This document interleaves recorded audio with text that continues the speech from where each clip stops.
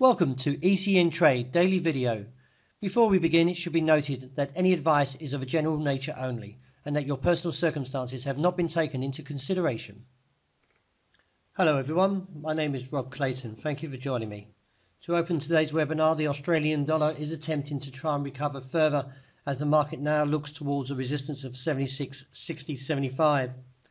In light of the current pattern, I feel the market is near the top side of the range and I do expect to see a retreat from that level and look down towards 76.15.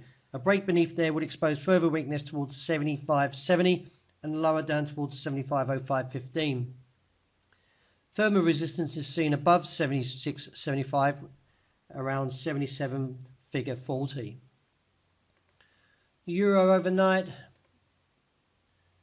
stages a brief challenge to the upside and fails around that 109 region, with the overall view holding towards 108.25.40.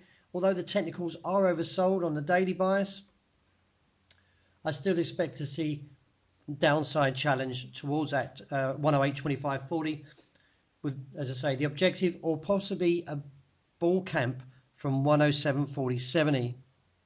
Fresh advances on the day. I do expect to see a cap around 109.35 to 109.70. The dollar yen story very disappointing as the market broke above 104.30 overnight and rallied on towards a high of 104.86 before plummeting down towards 104.10 in New York. In light of the current price action, further weakness is seen today and looking towards a target of 103.70.75 and see if the bulls respond from there. A failing a, foul challenge there would actually see further weakness towards 102, 70, 80, which is where the bull camp is. And I do expect to see a recovery from there and retest the highs of 104 to maybe on to about 105.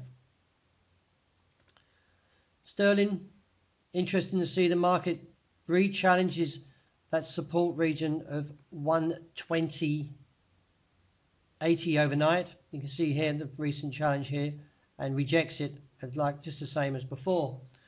In light of the current pattern, we should not discount further challenges towards the downside, and I do expect to see this eventually give way and look towards the 118 region.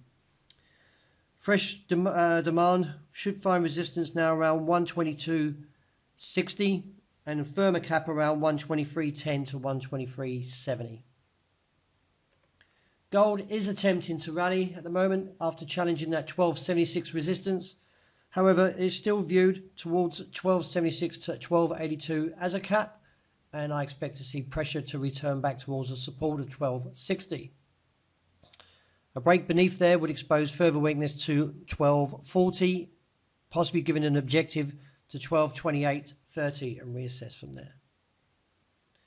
And to wrap with oil, well, the bears are challenging this downside level of 49.40, and it does look like from a four hour, from a daily perspective, that this market breaking further with an objective of $46 a barrel and reassess from there.